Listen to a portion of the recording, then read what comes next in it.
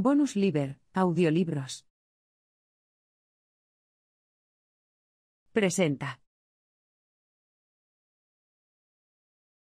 Alegoría del Sol. De Platón. Libro sexto de la República.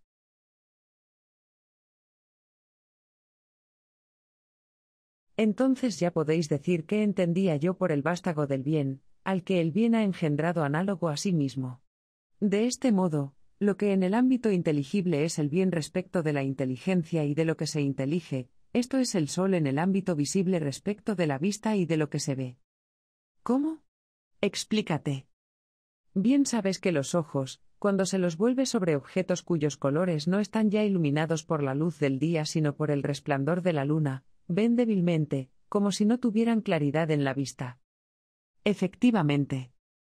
Pero cuando el sol brilla sobre ellos, ven nítidamente, y parece como si estos mismos ojos tuvieran la claridad. Sin duda.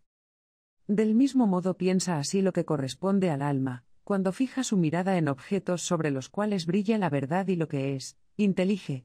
Conoce y parece tener inteligencia, pero cuando se vuelve hacia lo sumergido en la oscuridad, que nace y perece, entonces opina y percibe débilmente con opiniones que la hacen ir de aquí para allá, y da la impresión de no tener inteligencia. Eso parece, en efecto. Entonces, lo que aporta la verdad a las cosas cognoscibles, y otorga al que conoce el poder de conocer, puedes decir que es la idea del bien. Y por ser causa de la ciencia y de la verdad, concíbela como cognoscible, y aun siendo bellos tanto el conocimiento como la verdad, si estimamos correctamente el asunto, tendremos a la idea del bien por algo distinto y más bello por ellas. Y así como dijimos que era correcto tomar a la luz, y a la vista por afines al sol, pero que sería erróneo creer que son el sol, análogamente ahora es correcto pensar que ambas cosas, la verdad y la ciencia, son afines al bien, pero sería equivocado creer que una u otra fueran el bien, ya que la condición del bien es mucho más digna de estima.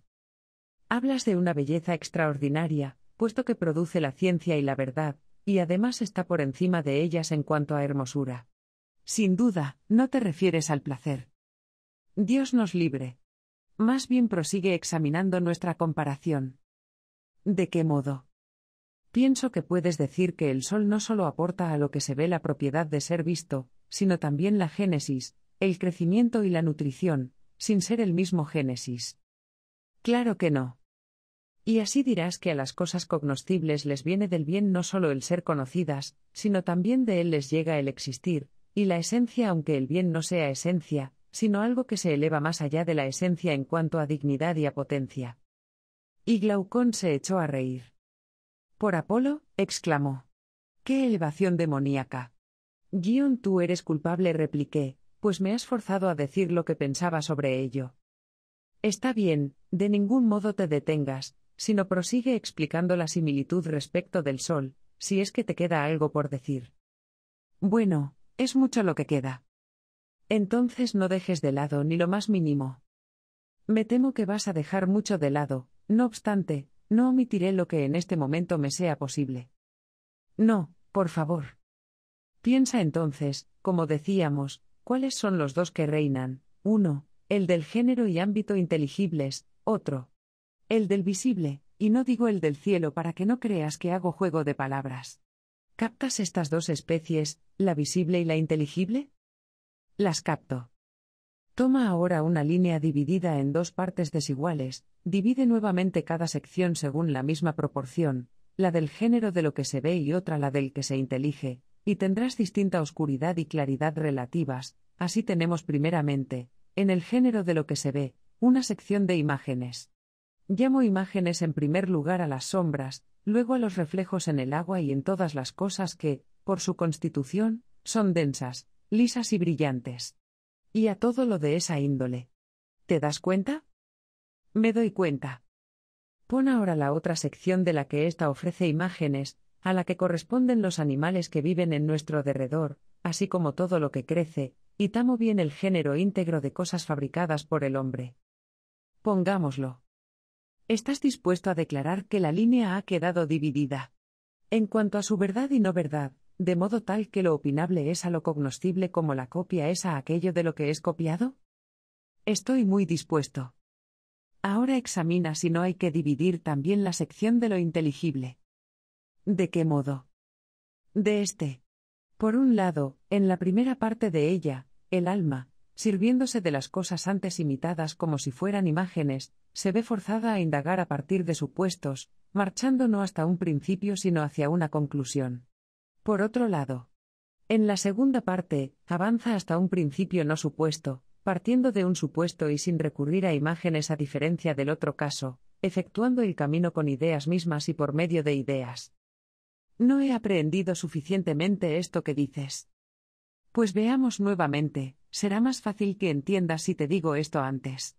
Creo que sabes que los que se ocupan de geometría y de cálculo suponen lo impar y lo par, las figuras y tres clases de ángulos y cosas afines, según lo que investigan en cada caso.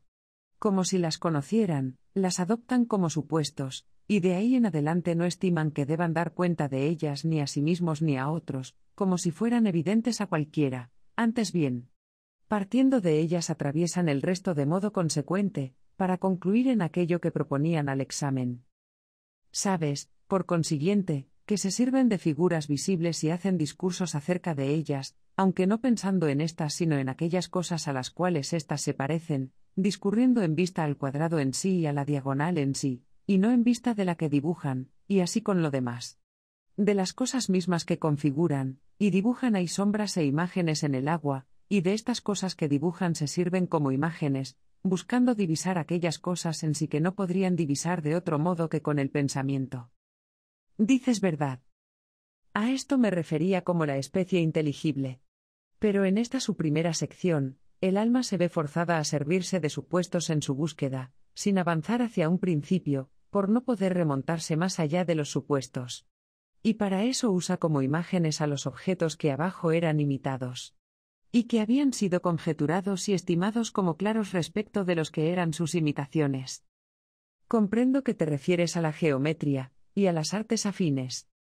Comprende entonces la otra sección de lo inteligible, cuando afirmo que en ella la razón misma aprehende, por medio de la facultad dialéctica, y hace de los supuestos no principios sino realmente supuestos, que son como peldaños y trampolines hasta el principio del todo, que es no supuesto, y, tras aferrarse a él, ateniéndose a las cosas que de él dependen, desciende hasta una conclusión, sin servirse para nada de lo sensible, sino de ideas, a través de ideas y en dirección a ideas, hasta concluir en ideas.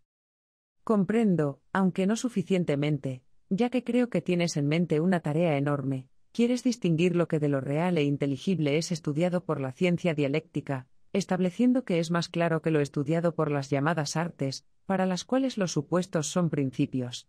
Y los que los estudian se ven forzados a estudiarlos por medio del pensamiento discursivo, aunque no por los sentidos. Pero a raíz de no hacer el examen avanzando hacia un principio sino a partir de supuestos, ¿te parece que no posee inteligencia acerca de ellos, aunque sean inteligibles junto a un principio?